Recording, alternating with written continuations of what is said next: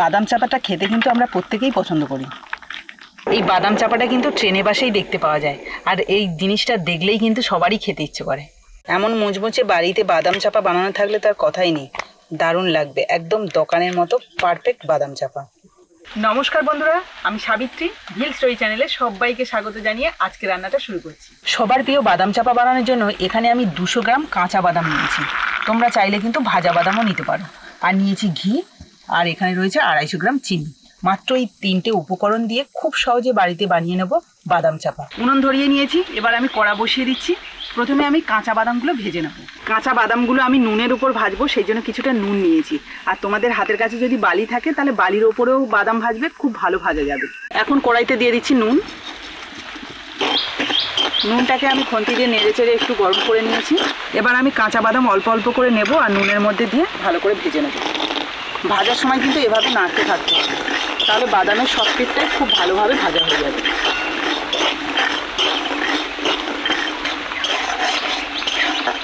বাদামগুলো নুনের উপর দিয়ে দু থেকে তিন মিনিট মতো নেড়ে চেড়ে নিয়েছি।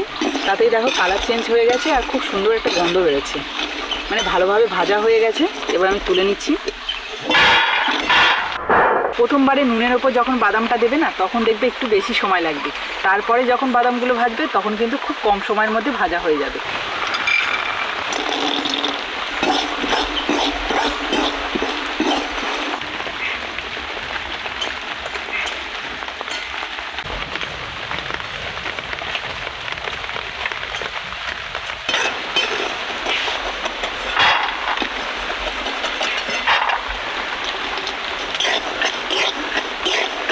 দেখো, একটা একটা বাদাম ভাজা হয়ে যাচ্ছে আর সঙ্গে সঙ্গে কিন্তু এই যে ফাটার আওয়াজও হচ্ছে। সবগুলো বাদাম ভেজে তুলে নিয়েছি, এবার আমি খোসা ছাড়িয়ে নেব। এইভাবে দু হাত দিয়ে চেপে চেপে খোসাগুলো ছাড়িয়ে নেব, এই দেখো, কত সহজে খোসাগুলো ছেড়ে যাচ্ছে।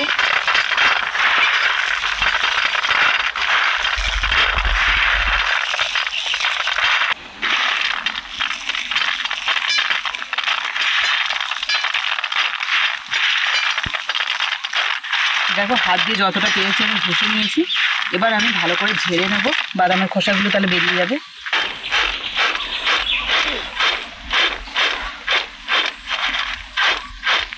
এই দেখো, বাদামের খোসাগুলো আলাদা হয়ে যাচ্ছে আর বাদামগুলো এক দুই হয়ে যাচ্ছে। কোনো বড় জায়গায় বা কুলোতেও ঝেড়ে নিতে পারো। দেখো, যতটা সম্ভব আমি বাদাম থেকে খোসা ছাড়িয়ে নিয়েছি। এবার আমি এই বাদামগুলো একটা প্লাস্টিকের মধ্যে নিয়ে একটু গুঁড়ো করে নেব। পুরো মিহি করে গুঁড়ো নয়, একটু হালকা যদি গুঁড়ো করে নেওয়া যায়, তাহলে কিন্তু সেই বাদাম চাপাটা খেতে দারুণ লাগে।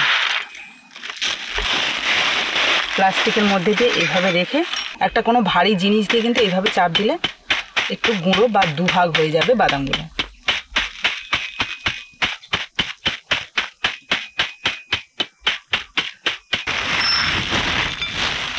তো বন্ধুরা, তোমরা দেখতে পেলে আমি বাদাম চাপার জন্য কাঁচা বাদাম কীভাবে রেডি করলাম। আর তোমরা যারা ভাজা বাদাম নিয়ে বাদাম চাপা বানাবে, তারা কিন্তু অবশ্যই শুকনো কড়াই একটু বাদামগুলো ভেজে নিয়ে তারপরে এভাবে টুকরো টুকরো করে নেবে। তবেই কিন্তু একদম অরিজিনাল দোকানের মতো বাদাম চাপা হবে। বাদাম চাপা বানানোর জন্য এখানে আমি আড়াইশো গ্রাম যে চিনিটা নিয়েছি, সেই চিনিটা এবার কড়াইতে দিয়ে দিচ্ছি। আড়াইশো গ্রাম চিনিতে এখানে ছোট বাটির হাফ বাটি দিয়ে দিচ্ছি জল। এবার আমি এই খুন্তিতে এইভাবে নাড়তে থাকব আর চিনিটা গলে গিয়ে একটা সুন্দর কালার চলে আসবে। আর এই সময় কিন্তু আঁচটাকে মিডিয়াম রাখতে হবে, তবেই কিন্তু চিনিগুলো গলে গিয়ে দারুণ একটা কালার আসবে।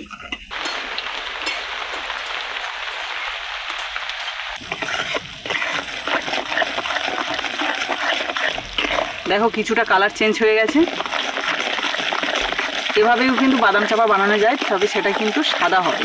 আর ক্যারামেল কালার করে নিয়ে তারপরে যদি বাদাম চাপা করা হয়, তাহলে কিন্তু একটা সুন্দর কালার মানে যেটা গুড় দিয়ে করলে বাদাম চাপাটা যেরকম কালার হয়, ঠিক তেমনই হয় দিয়ে দিচ্ছি দু চামচ ঘি।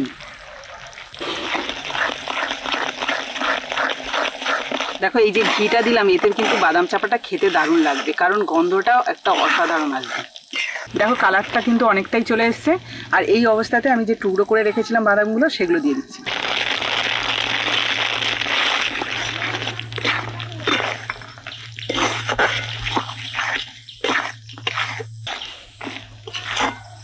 চিনি শিরার মধ্যে বাদামগুলো দিয়ে একটু নেড়ে ছেড়ে নিয়েছি। তাতেই দেখো কত সুন্দর কালার এসছে। যেমন গুড়ের বাদাম চাপা হয় না, ঠিক তেমনই কিন্তু কালার এসছে। এবার আমি নামিয়ে নেব। যে পাত্রে নামিয়ে রাখব, সেই পাত্রটা একটু ঘি মাখিয়ে নিয়েছি। বাদাম চাপাটা খেতে কিন্তু আমরা প্রত্যেকেই পছন্দ করি।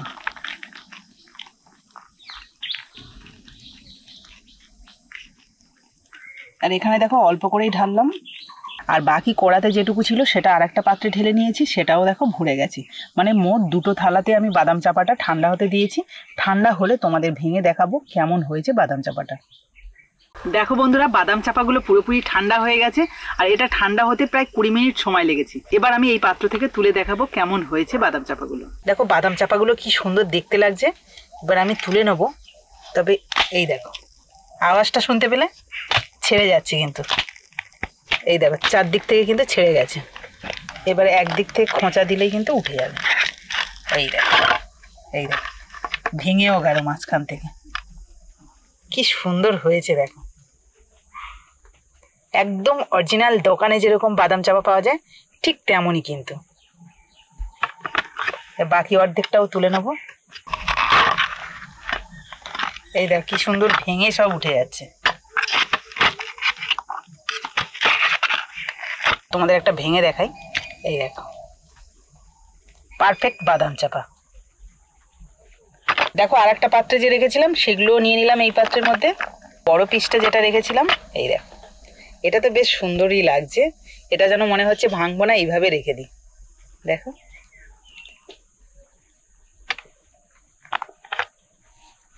তো বন্ধুরা, দেখো, বাদাম চাপাগুলো একটা পাত্রে রেডি করে নিয়েছি। আর ওদিকে সবাই চলে এসছে। সবাইকে দিয়ে দেবো। কুটুস কুটুস। আর কুটুসকে দেখো আজকে দেখো হোয়াইট ম্যান হয়েছে। ওই দেখো? ওলে বাবালে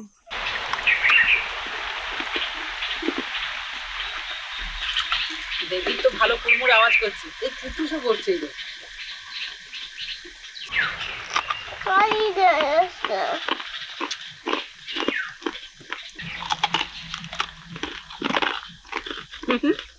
সবাই কেমন আওয়াজ করছে? আওয়াজ করছে ট্রায়াঙ্গেলটা তুমিও খাও। আমি তো হাফ খেয়েই ফেলেছি খুব খুব টেস্টি হয়েছে আর খেতে খুব ভালো হয়েছে। বাবা তুলে নাও। আমি মেলায় গিয়ে এই বাদাম পাটালি দিই লোক খুব লোক কমা যে আগে বলে বাদাম পাটালি দাও তো আমার খুব প্রিয় জিনিস। আজকে আমার বৌমা এই বাদাম পাটালি তৈরি করেছে। অসাধারণ। বাদাম বানালে তোমার থেকে আমার খেতে খুব ভালো লাগে।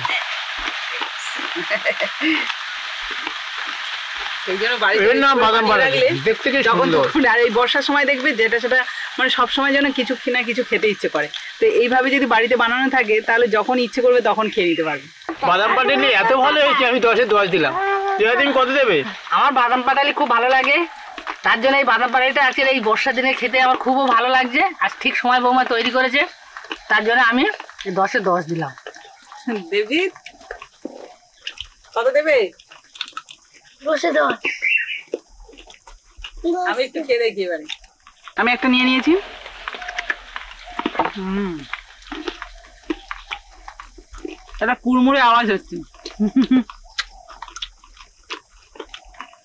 তো বন্ধুরা আজকে ভিডিওটা আশা করি তোমাদের ভালো লেগেছে। আর ভালো যদি লাগে তাহলে প্লিজ একটা লাইক করে দিও। আর বন্ধুদের সাথে প্রচুর প্রচুর শেয়ার করো ভিডিওগুলো যাতে সবাই দেখতে পায়। আর যারা ইউটিউব থেকে দেখছ তারা ইউটিউব চ্যানেলটা সাবস্ক্রাইব করে পাশে থাকা বেল আইকনটা ক্লিক করে রেখো।